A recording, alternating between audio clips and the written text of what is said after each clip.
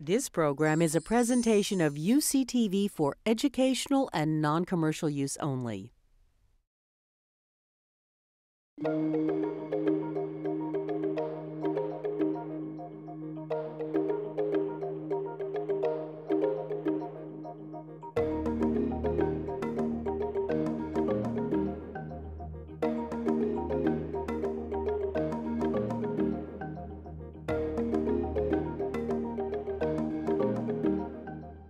Welcome to this um, last of the, uh, of the A. Richard Newton uh, Distinguished Innovator Lecture Series um, sessions for uh, this semester and therefore for this year.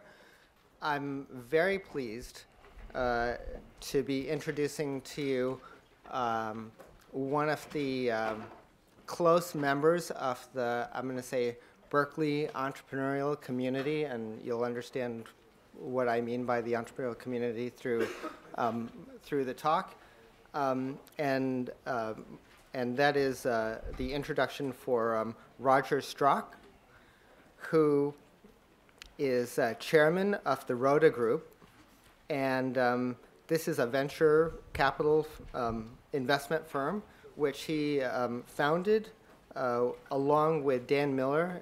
it's Roda. It's actually uh, Am, am I giving anything away in your No. talk here? Okay, good. um, so Roda is actually Roger and Dan, just in case you, you didn't know that. Um, so um, the Roda Group, Roger and Dan, uh, and uh, together they've built many companies together. Um, over 30 years, they've been building companies, high-tech companies. Uh, some of them have gone IPO and been public and so forth. Some of them have been sold to large firms like Hewlett Packard. Uh, uh, they are the largest investor in uh, Solazyme, and uh, some of you may um, know of Solazyme already from past speakers who have mentioned Solazyme, but uh, Solazyme um, base, produces um, renewable oil and bioproducts um, through the use of um, algae, basically, through algae to produce oil um, uh, for oils, food, and uh, biomaterials. Um, Solazyme went public May of this year and uh, raised um, approximately a quarter of a billion dollars. So that was a great success. Congratulations. Um, I, Roger has been uh, CEO and basically a leader in a, a, very wide range of companies, companies that have been in telecom, in internet, uh, in software systems, in medical devices, and um, his current um, focus, or like the some of the newer investments, have been in clean tech um, and with interest in carbon sequestration and water um, remediation uh, renewable fuel and food and um, energy efficiency. Uh, Rogers also um, uh, uh, um, on the philanthropic side, very involved. Um, he's an advisor to Berkeley's College of Engineering and to the Electrical Engineering and Computer Science Department. He's a, a, member and past president of the Berkeley Rep Theater, vice chairman of the Math and Science Research Institute, which is um, funded by the uh, National Science Foundation, um, on the trustees of the Northside Center for Child Development. Um, he's a member of the Madison Council, uh, Philanthropic Advisory Council uh, to the Library of Congress. Uh, he has also built a foundation which supports arts and education uh, um, for Armenia, or actually in Armenia. Okay, so uh, today Roger is going to share some thoughts um, on and uh, basically uh, uh, memories uh, of his personal and professional development as a high technology entrepreneur. The title of his talk is Diary of an Entrepreneur. So, um, with this, thank you very much, thank Roger. You. Thank you.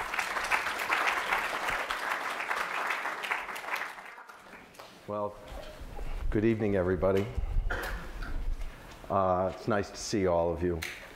This uh, series of talks is named to honor a really, really great person. Not only was uh, Dr. Richard Newton an excellent researcher and teacher, business builder, he was a great humanitarian. He wanted to make a difference in the world, and he did. He uh, had a remarkable ability to engage so many people in his life, professionally and personally, and he would bring out the best of each of us. And it was wonderful to be in his midst. So I was um, a junior engineering student at Cornell, and I wanted to have an unusual, big, a big difference in my spring break. So I teamed up with my buddy Bill, and we applied to a whole bunch of magazines and TV networks to offer our services as adventurers. Adventurers with excellent communication skills. Mind you, we had no experience and had never had done anything like this before. But a new magazine at the time, uh, Bit, and uh, the magazine called Quest was sort of a cross between a New Yorker and a National Geographic. They answered our call. So, come spring break, they, uh, they paid for our travel to New York City, and for the first time, I took a limousine um, to one of the, well, to the single fanciest hotel room I've ever seen in the Plaza Hotel in New York City. And the next morning, the editorial staff met us downstairs for breakfast, where they told us what our challenge would be. We were to attempt the first transcontinental race without the use of any commercial transportation and with only $25 in our pockets, a race to go from New York City to San Francisco. First person there, if either one of us makes it, wins 500 bucks, which at that time was 500 bucks out of a $3,500 tuition bill. And um, we, were, uh, we were then asked to flip a coin. And I was sent in one limo to, off to uh, Teterboro, New Jersey, a large private airport there, and my buddy off to LaGuardia Airport in New York. The assumption being, of course, that the fastest way to go from one coast to the other was by air. I was 21 years old. Well, let me tell you a little bit about myself. Um, I'm an amateur radio operator. Uh, I've passed a number of federal, uh, licensing exams to be able to use shortwave radios to communicate with people all over the world. And my uh, most exciting such contact occurred one day when I was calling CQ to see if anyone out there wanted to talk to me. And a station from Jordan answered my call.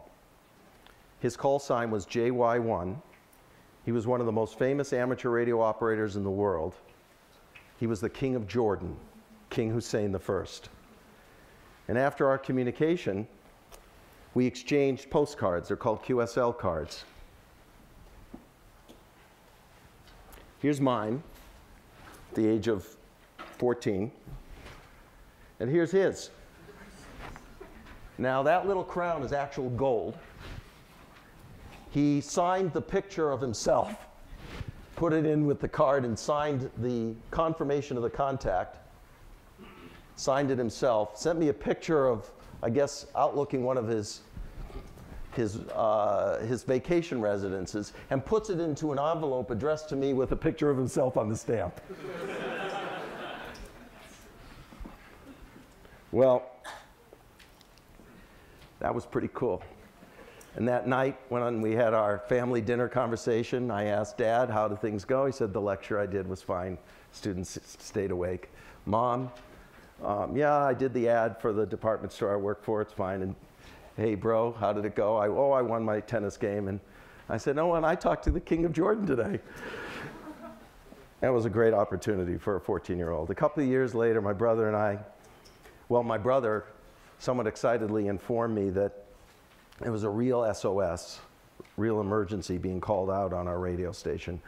And I, when I joined him to monitor the communications, we heard many such calls from Nicaragua. A terrible earthquake had just devastated Managua, and amateur radio was the only form of communications out. For the next several days, my brother and I became one of the key conduits of relief supply and personal survival notification communications between our country and Nicaragua. And at the ages of 15 and 16, we learned quickly how, with the right resources and skills, one can make a positive contribution uh, in an emergency. And since it was a pretty unusual thing at the time for a 15 and 16 year old to be reporting to the world about what was going on, this was the wire services photo that was sent throughout the world. It was printed in, in newspapers throughout the world of these two young kids who were one of the primary conduits of communications during the first three or four days post earthquake. At the age of 17, at the height of one of our country's worst engineering industry recessions post World War II, I started a company to rent out fellow high school students as electronics technicians to uh, Boston area companies at about half the going rate for technicians. At that time, we charged about five to six dollars an hour for our services. The business took off. We were all Ivy League bound, hardworking students, loved solving problems, and making some extra dough. With the right tools and opportunity, we were off to the races. I made enough money to have some really terrific dates, and I was also the youngest corporate president in Massachusetts. My voice was just changing at the time. and my mom would sometimes answer the business phone, Raji, it's a business call for you, which was pretty embarrassing, but the business seemed to work. So I'm in Teterboro Airport, New Jersey. It is pouring. Horrible, horrible stormy weather. And I thought the best place to search for flights would be where they fill up for gas. I went to what is called the flight base operator and started introducing myself to everybody in sight pilots, service crews, passengers, anybody. I introduced myself as a Cornell student, an engineering student looking to win a race across the country and 500 bucks towards tuition. The responses were threats to arrest me for trespassing, for violating federal aviation laws, and of course, I had lots of door slamming and wave offs, angry wave offs. But finally, a couple of guys had pity on me and offered me a ride to White Plains, New York, which was due north. Uh, I took it. It was the only ride out that night. So arrived around 4 p.m., small airport. Not a lot of possibilities to get out of there. And I started calling a Cornell buddy for a place to spend the night when somebody grabbed my sleeves and directed me to a flight he had secured for me in Al- to Allentown, Pennsylvania. It was a rocky trip in very poor weather, but we landed safe and sound. I called my parents, who were worried beyond description, and told them I was probably going to get stuck there, which pleased them to no end. It was 4:30, and then I engaged in Allentown, Pennsylvania, in one of the most aggressive four hours of jibber jabber in my entire life. There were no private planes to leave, scheduled to leave that night. I tried to convince commercial airlines to give me a free ticket. No dice. I asked a cab company to start driving me west until dawn and the next airport. No dice. I begged a really nice girl at the Hertz rental counter to rent me a car for free or drive me herself west. No dice. Everyone at the airport knew what I was up to at that point. And then the police came up to me and said the airport was closing in 15 minutes. And while they had a lot of sympathy for me, that if I was there in 15 minutes, they were going to arrest me for loitering. I picked up the phone and made a bold offer, which would ultimately serve me quite well. At the age of 25, I was an engineer at Hughes Aircraft, now a division of Boeing, a project manager, in charge of a new technology initiative in the area of wireless communications, spread spectrum systems. And since this was really cool stuff, I was able to attract to my project the very top talent in the company. All of these people were better design engineers. I committed to attracting the resources to support our efforts to prove that we could build some of these key components of these new communication systems, thereby, thereby validating the technology as cost effective for efficient, secure satellite to person communications. Whereas most folks would look to hide under the table if asked to speak at design briefings, I relish the opportunity to present and defend our designs and project plans. And if we ran out of money from one budget, I would go by find another sponsor for our R&D adventures and find that money by hook or crook. Without the best bosses in the whole wide world, I never would have been able to do this work. And I was armed with some experience and confidence that a young person could make a difference within a large system or could move mountains if was supported by the finest talent combined with determination and tenacity. Well, I've had this uh, same business partner for uh, and friend for 35 years. And there have been articles written in um, Harvard Business Review about how if you want to be an entrepreneur, very often if you're if some of the people you start your company with are your closest and most trusted and best friends, the probability of success goes way up for the business, let alone for your professional careers. That would certainly prove the case with Danny and myself. So when at the ages of 27, Danny and I were offered an opportunity to start a telecom company only months before the entire telecommunications industry was broken up. It was a monopoly in this country and until 1984 and deregulated, we grabbed this opportunity to come to Berkeley and start this company. The deal was that we would sell consulting services leveraging our skills as communication systems engineers, and that we would secure contracts to solve telecom problems and design communication systems for hire on a time and materials basis. The VC who supported us would mentor us in selling contract, uh, in, in selling and contract development techniques. They would risk about a year, maybe two, of our salaries while we tried to break even. It became apparent that the only way to sell business was to get on the telephone and talk to people. And on our first day, we kind of just stared at the telephones. Wow, this is, it's just, this is it. And uh, finally, the end of the first day, my partner Dan picked up the phone. They called our former employer, and miraculously, within hours, had sold our first consulting contract. And we used that contract to hire one of the smartest systems engineers we'd ever met in the satellite industry, satellite communications industry. He had preceded us at Cornell and Stanford grad school where we, where we had gone. Um, he wasn't a salesman. He was one of the best systems engineers in the country. And he was a hit. And we resolved always, always to hire people smarter than us to work with us. To build our business, we had to take some big risks, though. Our competition was some of the biggest and most able communications companies in the world. And the only way we can compete with them is to convince the potential client that we had incredibly innovative answers to their problems.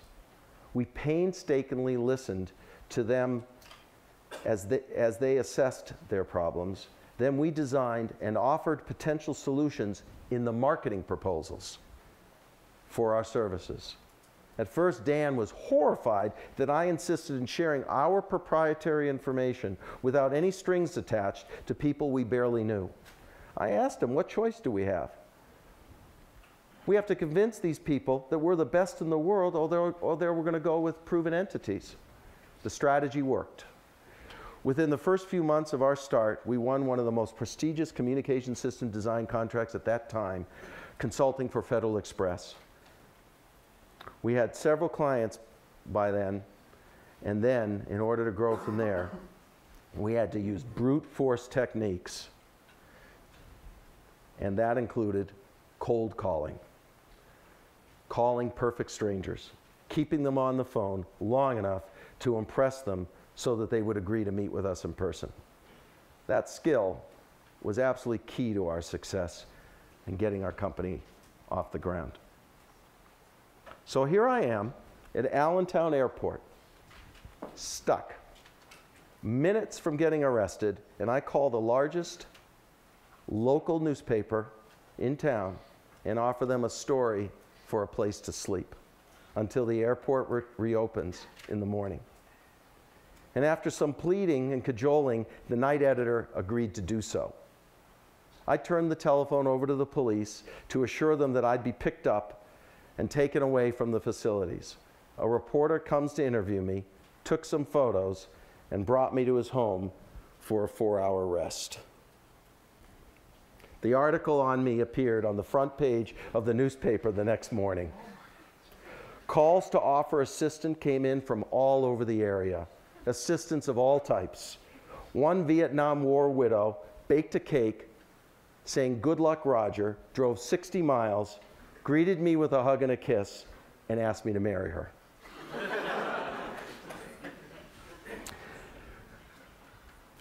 I had all kinds of other offers food and transportation, even drugs. None, none of the office, none of the offers were for flights west. The local radio station, WSAN, interviewed me and played the story every 15 minutes to encourage pilots to come and take me towards my destination. Finally, I had an offer to go to Youngstown, Ohio, which I grabbed. It was an orthodontist who brought, actually dragged, his poor daughter along, hoping that she would fall for an engineer rather than the guy she was dating at the time. Pretty awkward. With minutes, within minutes of uh, arriving at the Youngtown, Youngstown FBO, place where you get gas, I was, uh, I was actually offered a flight choice between going, either going to Columbus, Ohio, or Pittsburgh, Pennsylvania. Um, in a big gamble, I decided to backtrack to go what I had to go to to what I had understood at the time to be the bigger private airport, which was Pittsburgh. So we arrived there at 6:35 p.m. And by then, many of the FBOs, sort of in the northeastern part of the country, had heard about me. And uh, they were al- alerted to my quest, so to speak. And so when I arrived, plenty of folks offered their help, but still no flights west were to be found. So I did it again. I got on the phone to the local large newspaper, in this case the Post Gazette, and I offered a story for a place to sleep. But just as I was engaging in that conversation with that editor, a guy came up to me and offered me a trip to Columbus, Ohio. This time I accepted. And on the walk to that plane, another guy came up to me and said, Would you like to go to St. Louis? St. Louis, the Mississippi, almost halfway. I was, I, w- I thought this was fantastic. But it was another orthodontist. Um, those guys make too much money. Um, I told the uh, pilot en route, we were on our way, I was pretty nervous about this private plane travel stuff, especially in lousy weather. He responded by quoting a famous aviation author, Mr. Gann No matter how careful, no matter how lucky, fate is the hunter. Those words, combined with his particularly lousy landing, reminded me of the gambler who does not know how to quit. I was in St. Louis now. It was 2 a.m., roughly 36 hours into the contest.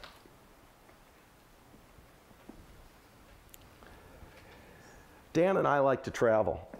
So when marketing opportunities for our services arose in Asia, we got pretty excited. Our venture capitalists were pretty negative. It takes a long time to win deals. You don't know the culture, you don't speak the language, you'll be wasting your time and our money, your most valuable assets. We thought, let's see, we can go to Pittsburgh, we can go to Columbus, we can go to LA, or we can go to Beijing or Tokyo. We went to Asia. Well, over the next 10 years, we ended up winning almost $200 million in consulting contracts in Japan, Korea, and China. One of our clients later explained to me why. We had the best people, best technology, plus. We were the first Americans they met who listened first, recognized them as individuals, not as groups, and while clearly acting American, respected their local customs and mannerisms. And it is true that while Japanese seemed to dress awfully similarly at the time, we saw them as individual personalities and professionals. We remembered their names and their faces. And NEC, Sharp, Toshiba, Fujitsu, Hitachi loved our people. We had successfully built one of the largest independent groups of communication systems and distributed network specialists in the world. Many of these folks were PhDs and master's degrees from here. When praised about the quality of our staff, our co founder, Berkeley professor Dave Messerschmitt, would respond that we also had world class modesty. We also recruited to support a consulting business that grew over 40%. We recruited just in time uh, to grow 40% a year with a 30% pre tax profit. And a big break for us came when we went to visit the head of information technology at United Parcel Service, the package delivery company, UPS. Frank had no interest in our telecom capabilities. He heard that we were smart engineers and he just wanted to meet us. So we asked him to tell us about his most pressing problems. And to our amazement, he ranted for an hour about how it took days for them to locate missing packages, and this was increasingly a competitive embarrassment. We asked him if we could spend a couple of days with his people for free to better understand his needs. We told him he could use the results of our assessment in any way he pleased. Well, we designed a system for the company and got the go ahead to build the delivery company's first automated package tracking and delivery system, one of the largest client server systems in the world at that time. The competition included companies like IBM. We delivered it on time, on budget, in full working order. And without folks like my cousin Robert, who got his PhD, brilliant engineer, it might not have ha ever happened. But I'll be darned, we really did it. So I'm in St. Louis. And by this time, the whole US airspace knew about me. And the Federal Aviation Administration, the FAA, got into the act to help me rather than to arrest me. They invited me into their Midwest Air Traffic Control Center in St. Louis and started soliciting over the radio for rides to all the pilots in all the airplanes in the air. They wanted, they encouraged them to come and pick me up. They suggested literally to pilots, why don't you drop by St. Louis and pick this student up and take him west? which is exactly what a Rockwell Sabreliner jet did. A whole jet, private jet, filled with salesmen slash pilots, they were both, returning from a worldwide trip of sales calls, were on board. And they were on their way to Los Angeles. That was a eureka moment. And the jet was landing at Lambert Field, only 30 miles away. Well, 30 miles away. So I had to grab a cab to rush me through the early morning rush hour to uh, Lambert, to Lambert Airfield. I made the trip within the hour window I was given, and thank goodness the cabbie had heard about me on the radio because I told him at the end of the ride that I could not pay him. it was against contest rules. So I was on the way to LA. It was unbelievable. Wow. Maybe I would just win this prize. Maybe it would happen. Turns out this contest had been tried 30 years uh, earlier by a magazine called Life Magazine, and no one ever made it. Um, no one won. And, uh, had, and so this was the next try. Well, in spite of very beautiful, gorgeous early morning views, of course, I was exhausted. I drifted off to sleep, only to be nudged aggressively a few hours later on an approach to LA, on the approach to LA, to be told the plane had developed a complete failure of the horizontal stabilizer. Fortunately, the world's most experienced pilot for that plane was now at the controls, and emergency vehicles were lined up along the LAX Los Angeles Airport runway. All incoming traffic had been halted except for us. And we made a final approach and landing usually using primarily speed control. Um, we landed safely, no incident. And uh, thank goodness we had the most talented pilot on board. Who, otherwise, who knows have, what would have happened. Well, our consulting company grew to over 250 engineers and 400 employees. We had offices in Japan, France, Australia, and England, and we grew with our own profits. No money beyond the $200,000 was invested, the original $200,000 was invested or loaned to us. We went public in 91 and once I told a respected advisor about our conservative financial model for growth, and he said that it was impossible to do so, impossible to do what I told him we had done. And I replied that I was very, very glad, since he was so highly regarded by me, that he did not tell me this earlier. Otherwise, I may have never done it. But we did falter in our growth for the first year as a public company. It was quite distracting and new. We grew steadily for five years thereafter. We developed software for digital signal processors, specialized microprocessors, and network management systems that was deployed worldwide. And we set the stage for very high growth markets for other companies, unfortunately, to grow in, um, in each of those areas, network management and telecom DSP. The investors who backed us with their 200K made over $100 million on their investment. And we did sort of a crash landing after 12 years. We, uh, our vision for growth was lacking. People, including yours truly, were not quite up to the task of growing beyond 100 million in sales, and eventually the company was sold. Dan and I wanted to take the company in a new, into a new market, which we called the internet at the time, and was deemed to be too risky. So we left to start a VC firm. We were kind of tired of doing it all ourselves, and so we decided we would help others launch their own companies. All right. So here I am in Los Angeles, the West Coast, 400 miles from my goal. And the relieved and somewhat embarrassed Rockwell guys helped me meet a friendly flight base operator staff who quickly secured a flight on board a very famous singer songwriter's private Learjet. Paul Anka is his name. He wrote the song My Way. I thought that was appropriate. Um, he was not on the plane, but that plane took me to Monterey, only a hop, skip, and a jump from San Francisco, so I thought. It was a teeny airport. Would I get stuck there? The pilot of this Learjet upon learning that I was kind of associated with the press, decided to show off. He took the plane over the ocean.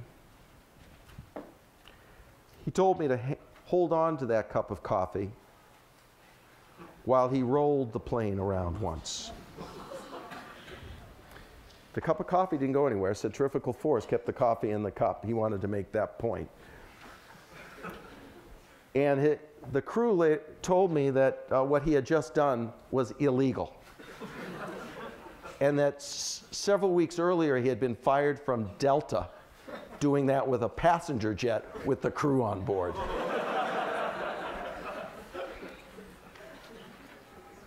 we did land safely in Monterey. And how the heck was I going to get out of here? So close, and yet so far. As you heard, we call our venture firm the Roda Group. Our first investment was a search engine called Ask Jeeves, which went public, was eventually sold for $2 billion to a large public media company. And the second was PolyServe, which was sold to a large public computer company for, let's say, a, a, a very nice sum. Ask Jeeves was the ride of a lifetime.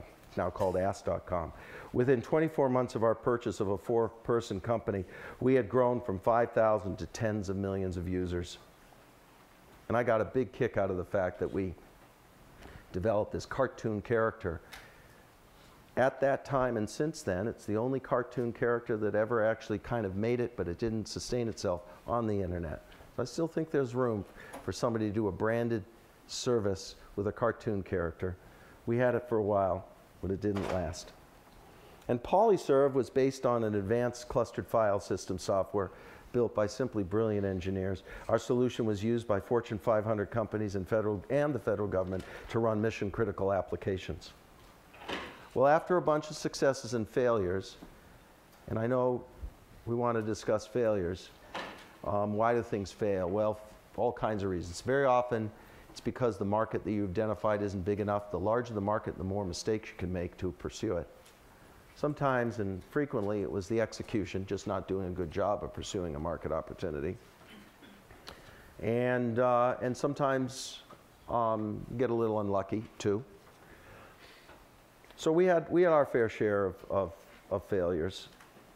But Danny and I started focusing on our current and our greatest challenge how to mitigate or attenuate or perhaps reverse the consequences of climate change. We think the world is not paying enough attention to the damage we are doing to our environment with man made carbon released into the atmosphere. It's heating up our entire ecosphere. Let me show you this article, 1896, is an article about um, what happens if you put more carbon into the environment, and the answer is you'll heat up the earth. It's written by a Nobel Prize winner at the time, a Swedish Nobel Prize winner. And he's referencing in it an article written in 1827, 1827, that documents scientifically how the Earth's environment and overall temperature is a function, in large measure, of the carbon in the environment, in the atmosphere. And then, furthermore, this issue, which I personally believe is quite urgent, it was identified some time ago, um, more concretely.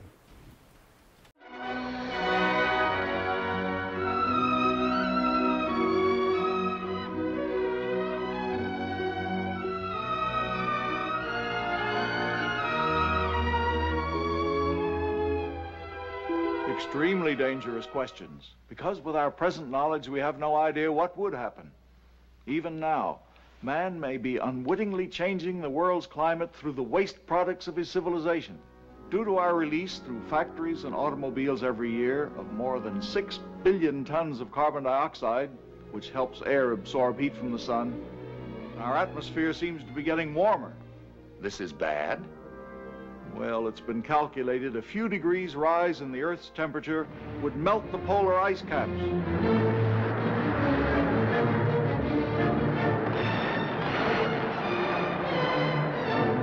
And if this happens, an inland sea would fill a good portion of the Mississippi Valley. Tourists in glass-bottom boats would be viewing the drowned towers of Miami through 150 feet of tropical water. Foreign weather, we're not only dealing with forces of a far greater variety than even the atomic physicist encounters, but with life itself. Today, we don't put 6 billion tons of carbon into the environment. We put 30 billion tons of carbon into the environment per year. Um, MIT released some data uh, a couple of years ago, and if there are no policy changes, in what we're doing, there's a 95% chance that within the century, we'll raise our Earth's temp over 3 degrees Celsius, which is enough to very dramatically change our environment. This is the, uh, what all climate scientists say is our danger point, 2 degrees. And uh, you don't want to be there. Drought, famine, floods. Um, and according to dozens, perhaps hundreds of climate scientists, we're destined for that without any policy changes and without any new technology to address these issues. And uh, this is what we might look like, which is if you, uh, the, the colors to the left are once you're beyond um, three degrees, you're in dust bowl conditions. Look at our country and look at the world and within your lifetimes. It's, um, it's serious data. I don't know why we would ignore the data of scientists, but we kind of are. So many scientists, so many competent, peer reviewed scientists. Well, we can do something about this, but it'll take a broad collective international willpower to do so and, um, and some selfless leadership. And we need to marshal all of our economic and technical resources to take on this challenge. We really need to win this race, this race. The prize will not just be money for those of us who invest in relevant solutions, but it will also be the lives of our kids and our grandkids. It'll take a common vision, the greatest talent, fortitude, creativity, and let's face it, a lot of chutzpah to ensure that we can bring this world back to an eco equilibrium that can sustain life for the centuries ahead, human life for the centuries ahead. This is perhaps mankind's greatest opportunity and greatest test. My guess is that this will become quite apparent on your watch. So we're counting on you guys fellow students, adventurers, engineers, scientists, business people, problem solvers, and leaders to band together and creatively tackle these issues.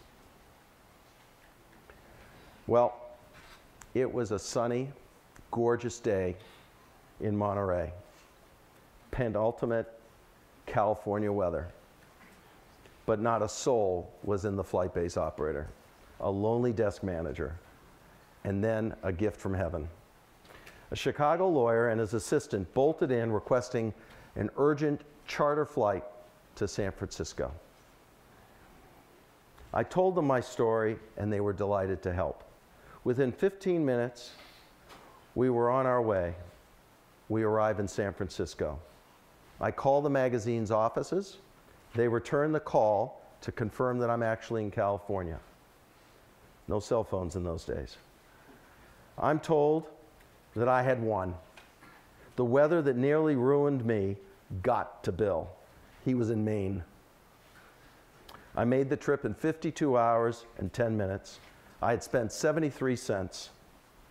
I had won $500. I got in the cab to spend the night with my relatives in Berkeley.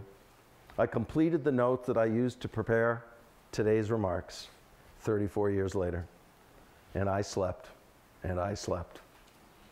Then I returned home to complete my engineering degrees and go off to the races. Thanks for your attention.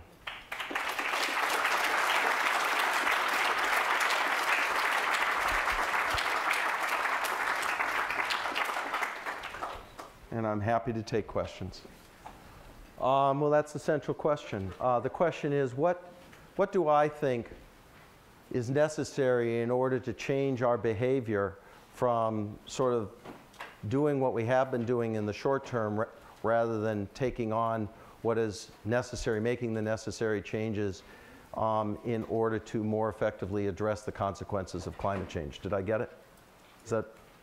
And, and there are several things that we're going to have to do um, in order to do this. We're going to have to have people do what I'm doing, which is to try to convince people that this is a more serious issue. It's, it's, it's a very hard thing to see. You can't see, you can't see what's happening. So that makes it a much tougher thing. Um, it's not a clear and present danger. But the science, we need to listen to our scientists. We need to believe in these people who our societies trained to be capable and competent and honest.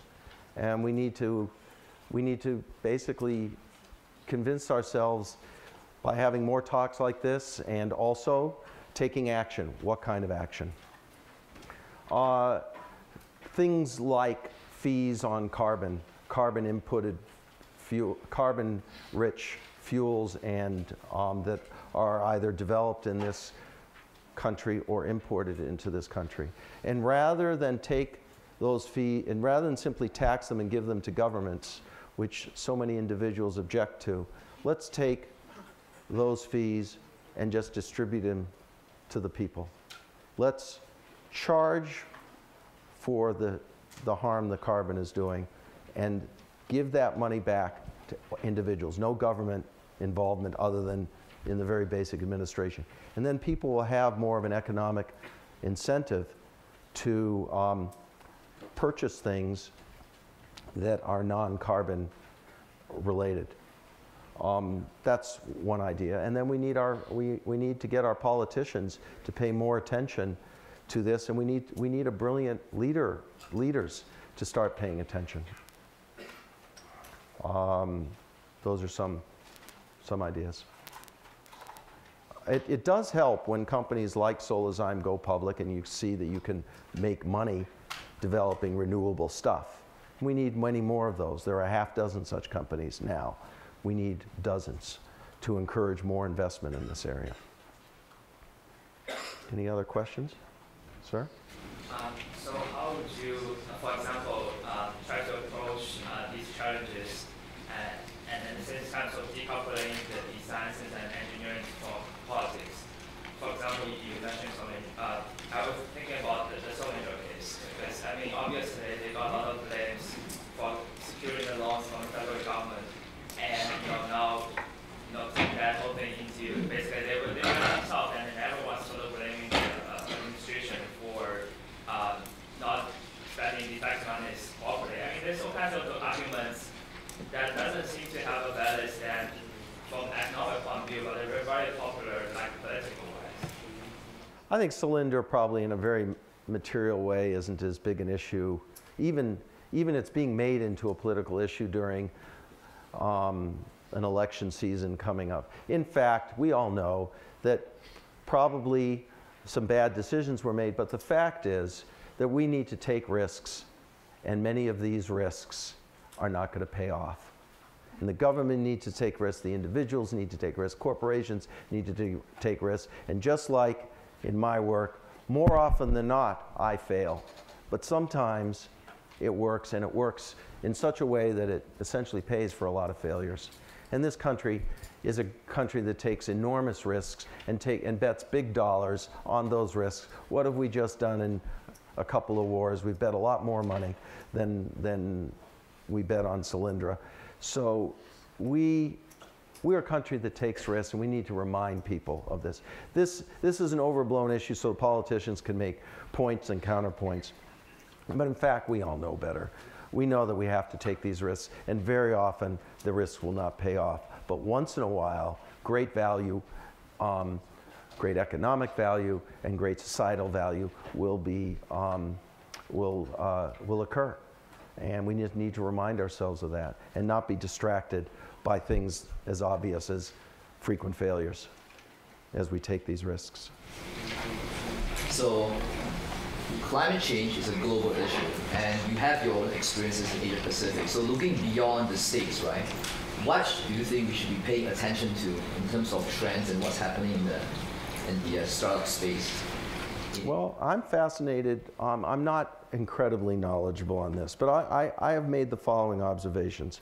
I have gone to conferences where it was obvious to me that China um, is, is, is much more efficient and actually putting in much more effort to address these issues for its own society.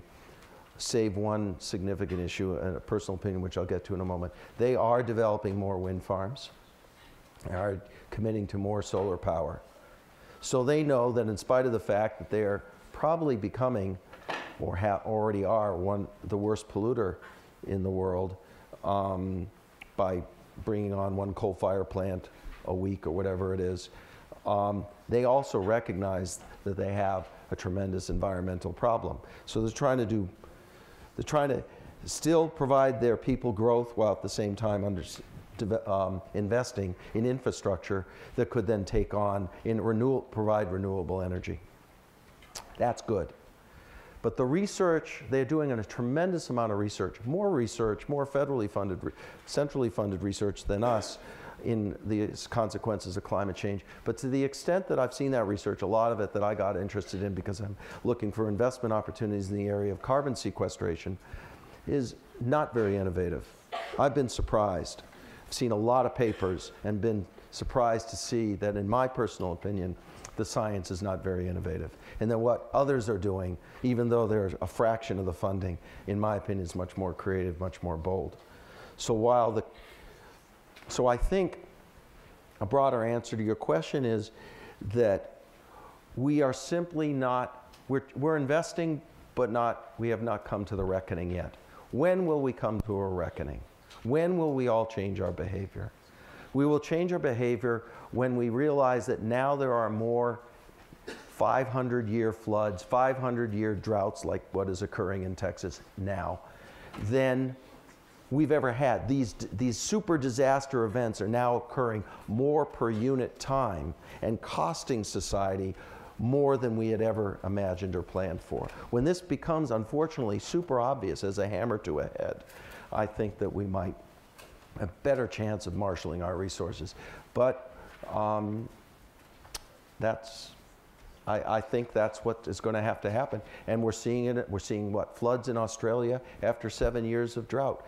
Climate change is here, it's man-made, uh, man-made that's accelerating it. And um, and we just, we need to look at the statistics and they'll become more obvious. And the more, the wait, longer we wait, the tougher it will be for us to address these issues, which is why I'm encouraging all of you to take on this challenge. If it's not your entire job, make it part of your job to take on this challenge and think about it and do something about it, which you can do. I like to think that the examples I gave you are examples that will encourage you. The, special things can happen in your life. You can make a difference and, and, and then contribute to society as a whole. I saw another hand. Sir? The question is what metrics are we looking for in, um, in new investments that relate to the economic opportunities associated with the consequences of climate change? Is that okay? And I could tell you we care deeply about the people and whether the people are the kind of people we used to be working day and night to pursue a passion, working so hard that they would make, we, we worked so hard that we would make all our mistakes in a compressed period of time because we knew we were going to make all the mistakes. And so we care a lot about the quality of the people, smarts, energy, um, humility.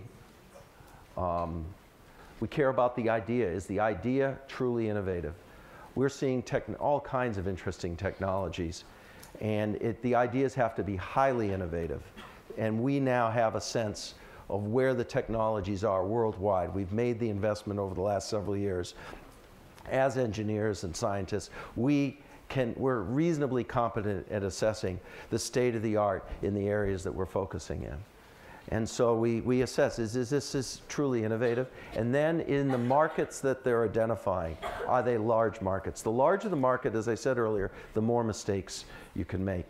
So it's the quality of people, the innovation of the idea, and is the market large enough? And can they prove this within a short period of time? Um, can they prove it not within a decade? Can they prove their idea within some economic sort of pilot, economically valuable pilot, within a year or a maximum of two years. So they need to prove something of economic value within two years. I think that's pretty much a direct, that's what we look for. And we have to really enjoy spending time with these people because we're going to spend a lot of time with them, supporting this very early stage stuff. Great question. Anything else? Great. Well, thank you so much for your time. Happy holidays. Thank you.